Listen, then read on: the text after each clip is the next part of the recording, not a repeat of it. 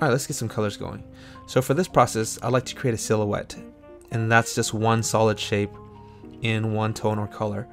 We're going to go to the layer with the lines, and we're going to use our auto select tool, also known as the magic wand tool. And we're going to click on the area outside of the character. And you'll see these dotted lines, also known as marching ants. And that selects all the area outside of the character.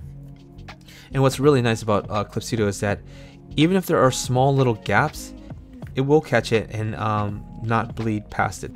But for the most part, this drawing has a solid outline, so it's not going past.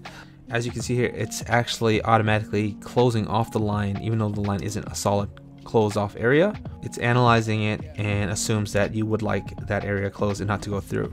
And you can mess with the uh, the levels levels of gap closing. That's kind of that's what it's called, the gap closing effect. Um, so I have it turned all the way up right here. Also little holes in the character like this, this hair area here. I'm gonna hold on shift. That's gonna allow me to add more selections that I've missed. So here's another one. And also you can manually go in and lasso off areas. If you go to your lasso tool, I have mine set to L. You can go in and hold on to shift and you can add sections manually by drawing it in. Holding on option will delete areas. Alright, so we have the this selection outside of the character. So what we want to do is we want to inverse this selection. So we want to flip it so that it selects the characters instead of the background. So holding on to Command or Control Shift and then I, you'll get an inverse selection. Now we're going to create another layer underneath the lines and we're going to fill it in with a solid color. And it can be any color for right now. As you can see, it's missing some of the, the little leaves and stuff. That's okay. We can go in and we can manually paint that in just want a solid shape. And then with our hue selection slider, we're going to use Command or Control U to get the sliders open. And we can turn up the brightness. So right now we have a, a bluish hue and any color can work, but this sets the tone for the colors moving forward. So if you want a warmer drawing, go with a more orange um, undertone. But if you want more of a cooler drawing, then go with blue. I think I want to go with more of a bluer undertone. This feels more like um, daytime, and if I go towards more cyan-ish color or teal, we kind of get kind of a morning-ish color. I like that. I like that feel. Now we're going to begin filling in our flat colors. So we're going to have separate layers for each color or object of the character. So starting with the skin, we can create all of our layers first. Let's just create a bunch of layers and go through them and label these. This will speed up the process. So without even painting, you can just identify the objects. So I'm just going to go through and figure out what they are. So we're going to start off with the skin, sweater. So I like to add the layers as they are on the character by how they're layered on top of each other. So skin, for example, being the bottommost object. The pants underneath the jacket. Shoes. We can do Sheba on its own layer. So working in layers allows us to adjust the colors and tones separately without affecting the other objects. Also, a quick way to add layers is using Command Control Shift N. Some objects might have secondary colors, for example like the jacket's fur. So I'll call that jacket fur and I'll put that underneath the jacket. And then we can add some leaves. Leaves. And then also we need eyes. Layer for the eyes. Okay, now that we've got all of our layers labeled, let's go in and begin filling in our colors. So right now they can be any color, so here's a really nice little feature um, Clip Studio has is the re referring layer. So we're to click on the line layer. Let's label it line. And we're to click this little object here to set as reference layer. And you'll see this little icon right here appear right next to the layer. We do that because we can start filling in objects without having to be on that layer. So for example, I'm to go to my fill tool. We're going to also select this little icon here. And that's going to refer to refer to the, uh, the reference layer. So when we fill in, we're, we're filling in as if we were on the reference layer. So go into your skin, your paint bucket, add some skin color, see how it goes in. In the old days, you would have to be on the line layer itself in order to fill in the colors. But with that feature turned on, it allows you to fill it in without being on that layer. So, all right, so now we're gonna begin filling in the colors. As you can see, it's leaving little gaps. So what you can do is you just go in with your pen tool paint right over those little gaps. To speed up the filling process, you can click on an area and drag it over the objects.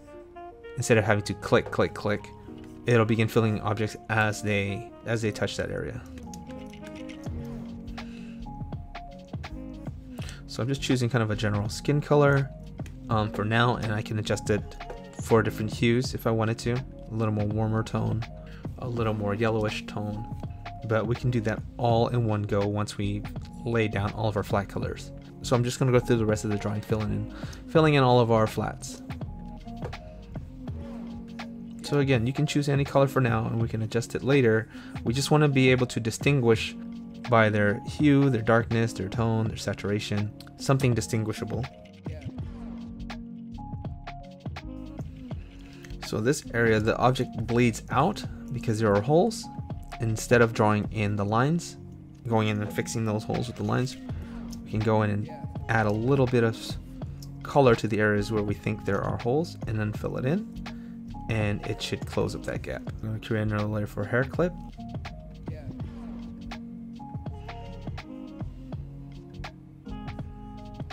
So the sweater would be underneath the hair, so I'm just to move that down. So a really quick way to get to your colors without actually having to look for the layers is by holding onto Command or Control Shift and just clicking on the area on the canvas and it should hop to your layers. So when you're filling in colors, it will leave small little gaps here and there. So I'm just going in and filling them in manually. And to see them more clearly, you can turn off your lines too.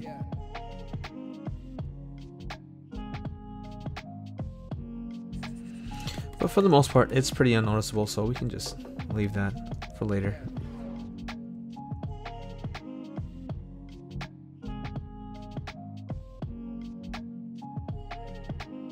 for objects like these shoes, I have two different tones of brown, but because the colors are very similar, they're not like a really bright red or yellow or something like that, I just keep the two colors on the same layer so that even if I were to modify the color, they kind of stay within that idea and it still works.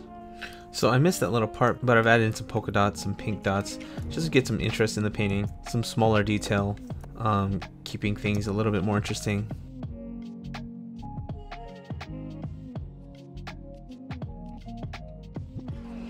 I'm thinking some uh, some yellow zippers might look cool against green, so might create some secondary colors. Might create a third layer for just the zippers and metal accents.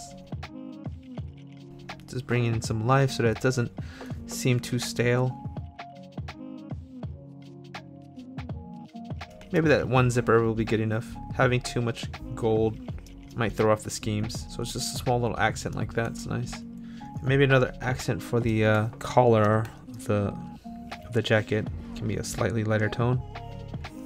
And I'm doing this right on the, uh, the metal layer because since I can lasso it off, it'll be fine. So one side of that, we can adjust that color around, see maybe we can find a better color. If not, that green looks fine. Actually, I forgot, you gotta lasso off that area.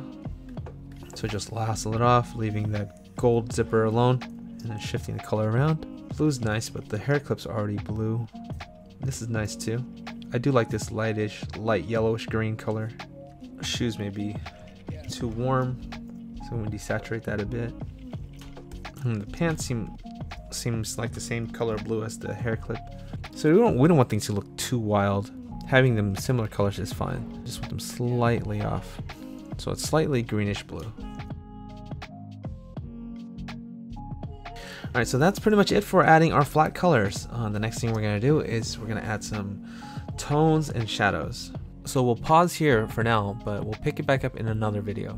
Until then, you can follow me on all the socials at The Jetty Jet Show. Thanks for watching. Keep on drawing. Take care. Peace.